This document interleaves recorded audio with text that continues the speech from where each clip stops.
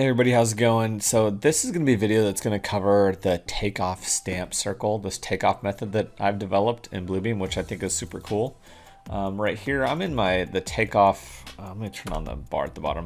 Um, but anyways, if, if you don't ever have this bar at the bottom, you press F8 on your keyboard and it'll pop up in case you didn't know that. But this video is going to be covering the takeoff stamp circle method and I'm just going to demonstrate how this is used and how I've used it to do hundreds and hundreds of takeoffs and I think it's pretty cool. So if you want this tool chest, feel free to uh, send me your email in the comments below or just send me a request you want the, the tool chest and I will contact you and send it to you. Um, but check this out. So this is how it works. Basically, this takeoff set here are a bunch of circles that were created in a quarter inch equals one foot scale okay? And it's set to auto scale, and all they are, if you go to detail mode, they're just ellipses. It's just a bunch of circles. And I picked, you know, 30 random circles, and you could make this go to 60, 90, 120, um, just by changing the border color of each circle so you can create some differentiation some um, so you can make them different okay?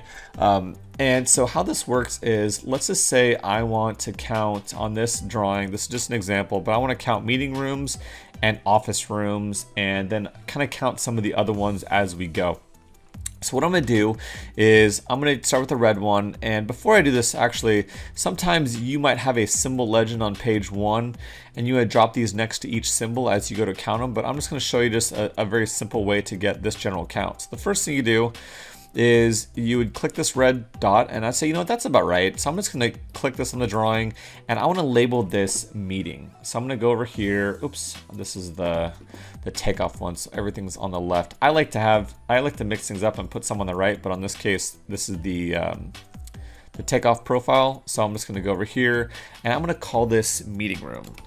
Meeting room. Okay, so now that I've, I've labeled that meeting room, you could also use the area up here to label this meeting room as well without having to pop this out. That's probably the whole reason why Bluebeam 2018 exists is so you don't have to go back to those the panels every time. But now that that's there, what I want to do is go to that icon, right click, and I want to add it to my My Tools. The reason I do this is I don't want to muddy up this. I want this to never ever change. So I'm going to make the icon, I'm going to add it to My Tools, and then I'm going to come up here and I'm to go detail mode. I want to see what these are called. So I could also go ahead and make the office one too. So I'm to maybe go with pink. I'm to add this here. Click on this to highlight it. Come up here and I want to label this office. Office room. Uh, I'm to say office. There's no room. Um, and then, and then I can actually double click here and just say this is just meeting. Let's make it standard. I'm to go over here. I'm to right click. I'm to add that to my My Tools as well. So that should have showed up over there. Maybe I just missed it. Add a tool chest my tools. There we go, office.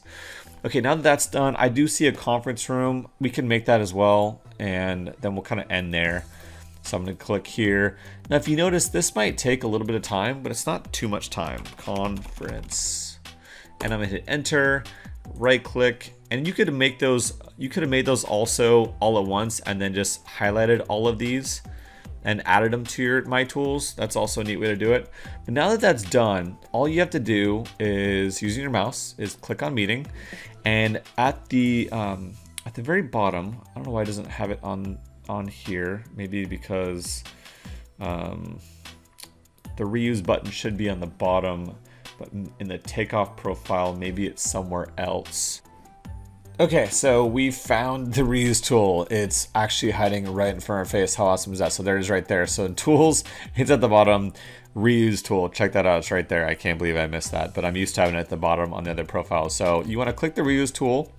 And I believe you can also pin this too. So if you hit pin, you can also pin this to say your, you know, advanced text. And so you can pin it up there, but let's just say under tools, you want to make sure this reuse tool's on.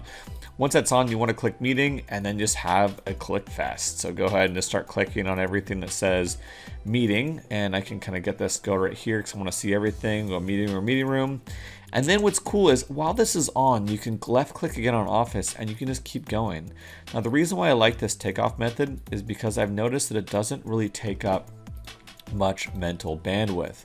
I can go through and click, oop, that's an open office, so we don't want that because we just want to do office rooms. Um, and so you can click through this, um, there's meeting room, so I can jump back to meeting room. You can click through these areas and click on all your takeoffs. And you can do so very, very fast.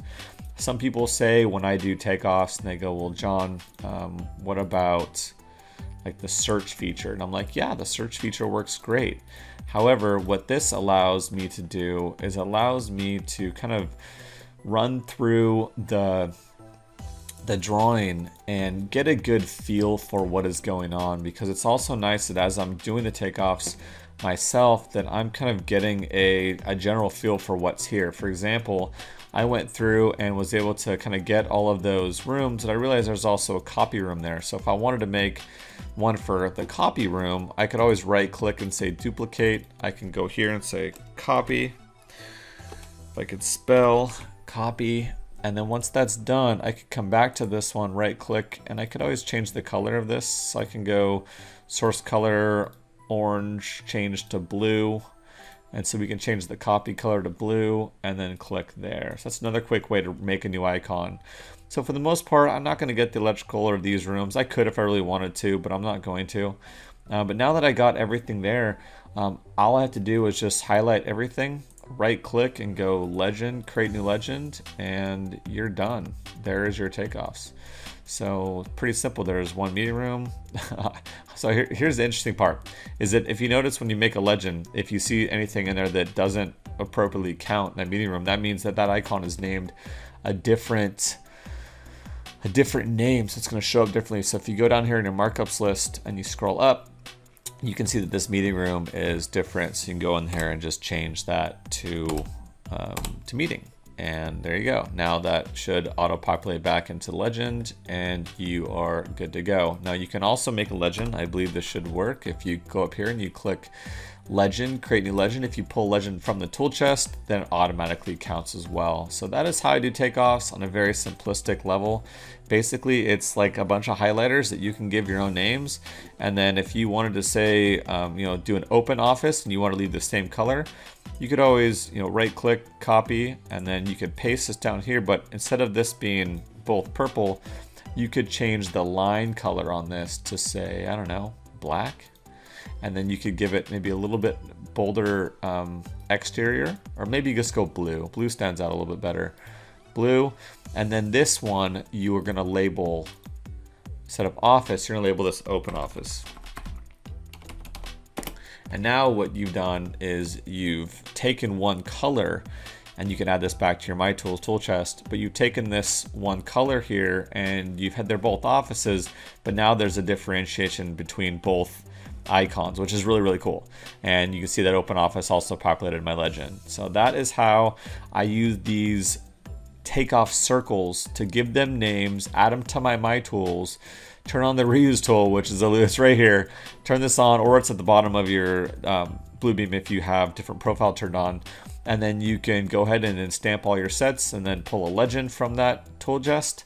And then you know from there there's a whole bunch of different properties where you could decide to do um, a source page. All pages current pages or custom range. So but that is the basis of it. If you have other ideas if you have other things you want to see let me know in the comments below. Feel free to subscribe to my channel.